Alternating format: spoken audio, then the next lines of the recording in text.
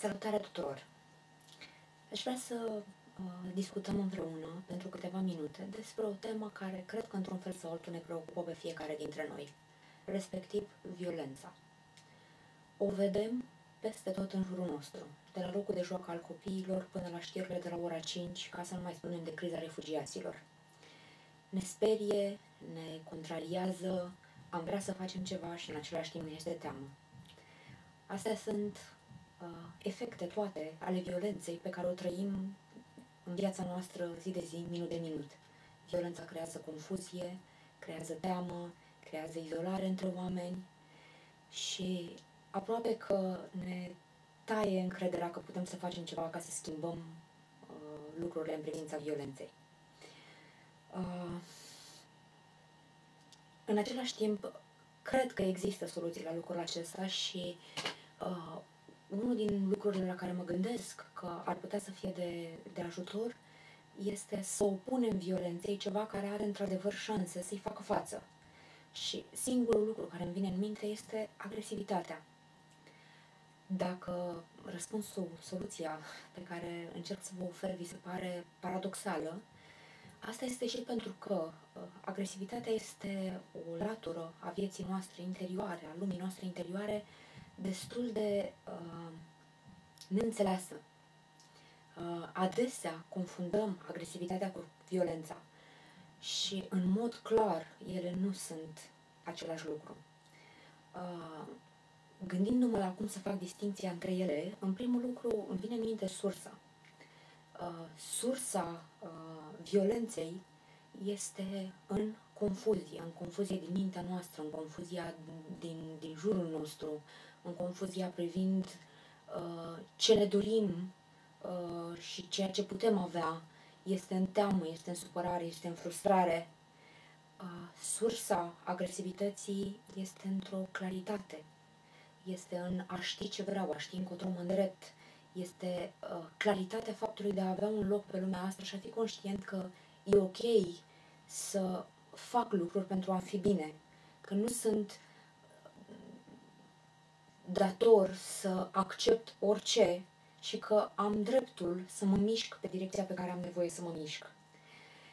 Uh, o altă diferență este faptul că violența ajunge să ne stea în cale. Chiar dacă pentru moment poate rezolva o situație, în final de cele mai multe ori contribuie la uh, încălcirea și mai tare a situației.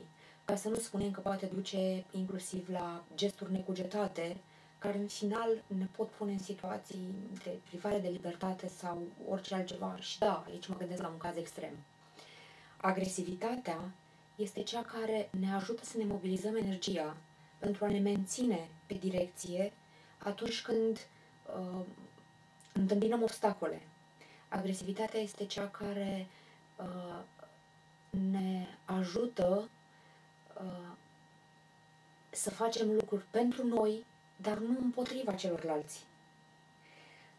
Agresivitatea este cea care este atentă și ia în calcul normele sociale, violența este cea care nu se preocupă de niciun fel de normele sociale.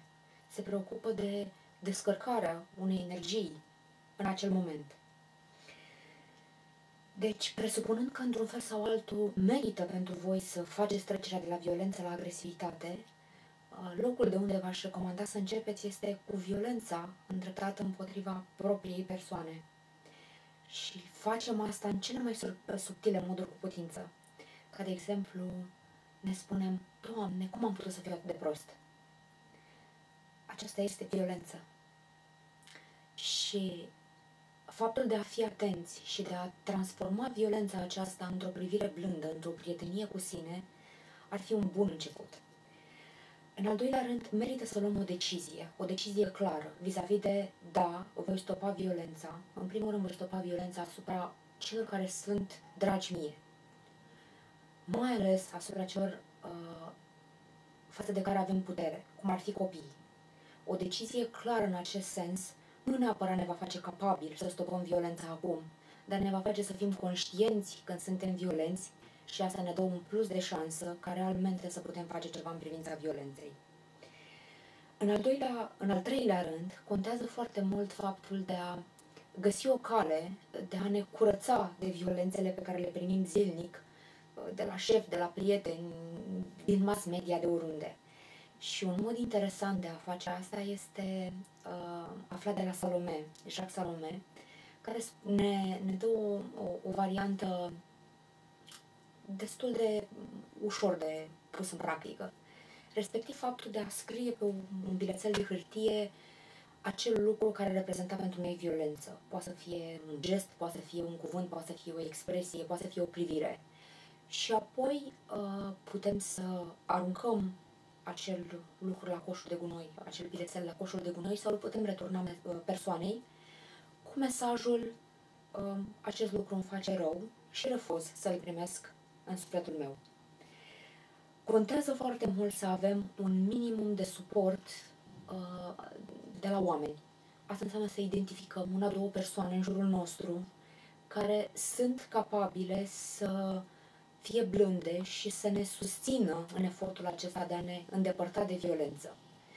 Și nu în ultimul rând, vă invit pe fiecare dintre voi să luați în calcul faptul de a oferi aprecieri celor care vă sunt apropiați. Contribuim la crearea unei culturi violente, în primul rând pentru că ne reținem să spunem când apreciem, ce apreciem și cum și pe cine respectăm. Vă doresc toate cele bune și succes pe drumul acesta.